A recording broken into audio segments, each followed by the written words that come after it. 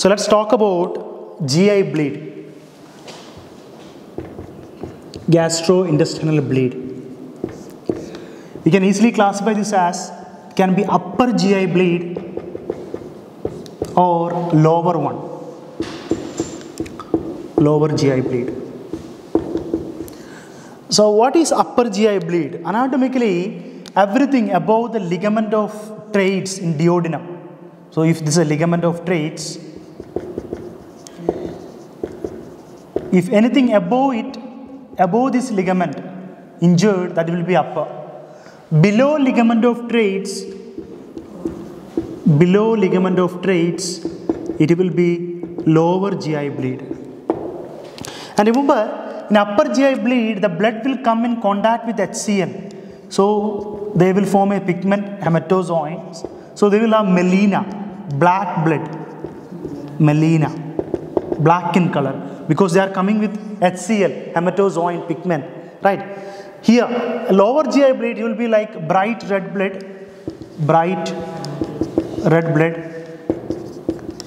We call it as hematochezia. Hematochezia. There are different scenarios that will cause you upper GI bleed to include can be peptic ulcer disease, can be varices, can be cancer, right? Ah, it can be something called Dieulafoy malformation, that is arteriovenous malformation. It can be varices, varices, right? Can be something called uh, GERD, GERD, or remember Boerhaave, Boerhaave syndrome, or can be due to uh, Mallory tear, Mallory Weiss tear. So all these can be. POD we already discussed. Remember about varices. It occurs because of portal hypertension. Portal hypertension. Here also we do an endoscopy or like for diagnosing we can do endoscopy or biopsy, right? So if there is a varices, you will have increased what? Portal pressure. To decrease that, we can give propranolol. So propranolol can decrease the pressure, portal pressure. For varices, we can do bandage or banding or like ballooning or we can do tips. Trans. Ah. So transjugular intrahepatic portal shunt to stop the bleeding. This we can do. So here also we can do an endoscopy and find it out. Now,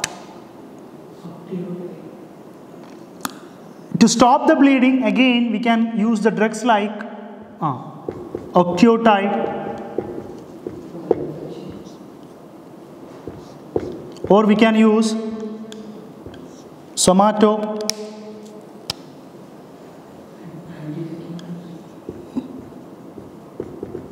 somatostatin right? They can stop what? Bleeding. Next one about uh, GERD we already discussed right? About Mallory Weiss. It's a superficial tear in superficial tear in esophagus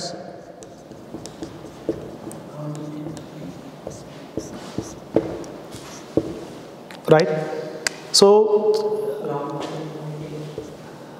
remember that uh, shape of the tear will be longitudinal like a self-limiting condition.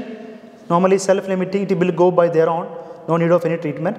You can give enough iv fluids iv fluids and observe the patient. In severe cases only we have to do like surgical management.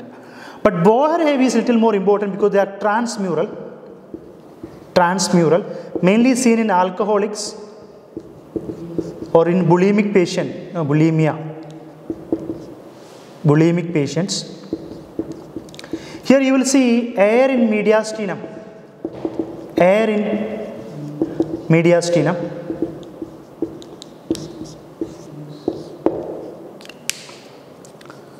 Now for diagnosing, here also best one is endo, right?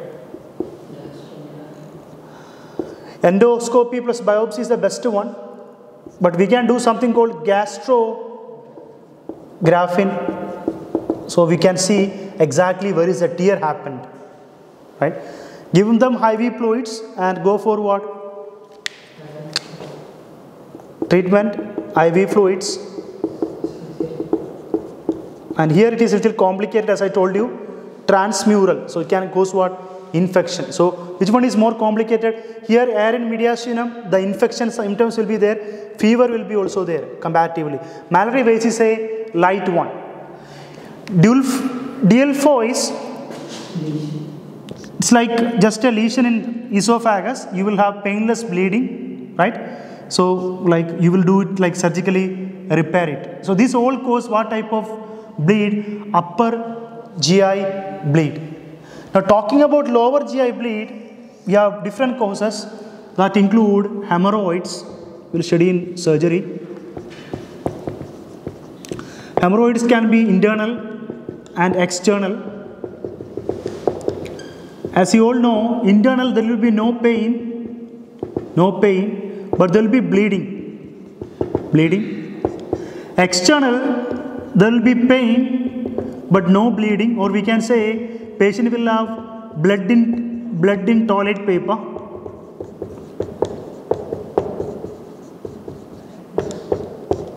Diagnosis is done by diagnosis by uh, digital or manual rectal examination. You put your hand inside.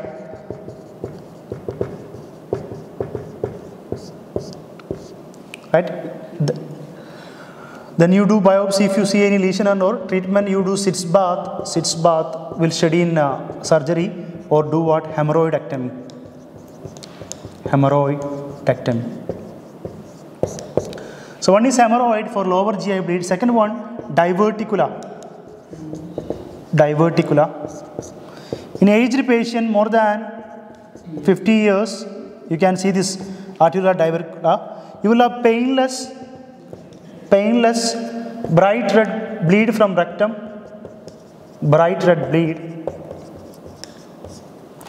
Here also,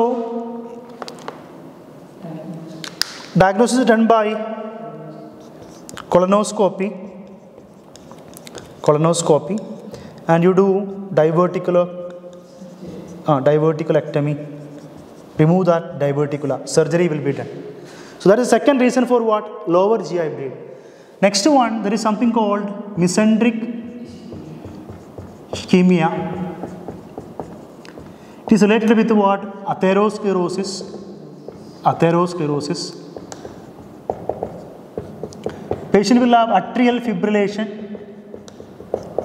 Atrial fibrillation. Pain while eating. That pain will be so much out of proportion out of proportion then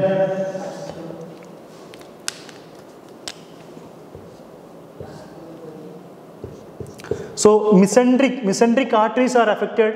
So all the like it's a type of vasculopathy. Diagnosis we do a CT angiography. Angiography. Right? Then there is ischemia, no blood. So we have to do what? To reduce the pain, revascularization. Last one among lower GI bleed example, ischemic colitis. It mainly affect watershed area, watershed area in the colon region. Ischemic colitis, right? here it was painless bleed it will be what? Painful? Painful? Bright red? Bleed? Here also do what? Colonoscopy for diagnosing. Treatment again like say surgeon's procedure. Right? So these are the main examples of lower gi bleed so these are the main uh, like how you differentiate between right uh, upper gi bleed and lower gi bleed so once again briefing here. If a patient comes with signs and symptoms of upper GI bleed, you are, you are a doctor, you are suspecting he is having signs and symptoms of upper GI bleed. So first thing you are doing is like ah, if someone have hypotension, all the thing, you go for ABC, airway, everything. First thing is stabilize the patient. For stabilizing, we will give IV fluids. You will give them like PPI, again IV PPI you can give. Then you can give them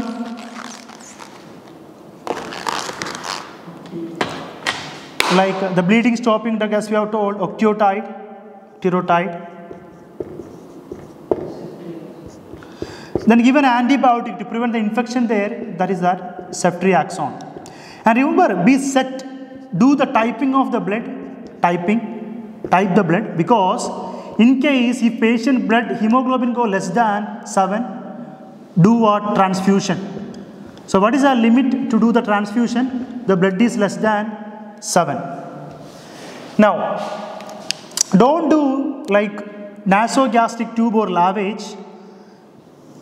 If once the patient is stabilized, right?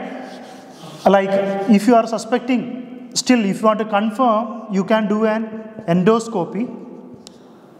In endoscopy, if you see it is upper GI bleed, like manage accordingly. If in endoscopy it is negative, you suspect what? It can be lower GI bleed. Because lower GI bleed we can't find in what? Endoscopy. For finding the lower GI bleed, we do what? We find a, the rate of bleeding. How you find it? By doing colonoscopy.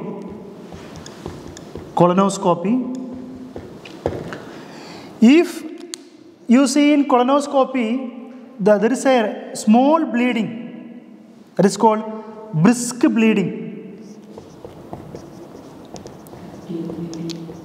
or brisk bleeding, do embolize, embolize or right stop that bleeding. If that a heavy bleeding, increased bleed, then do then do what? Tagged rbc scan. We use here for tagging technetium 99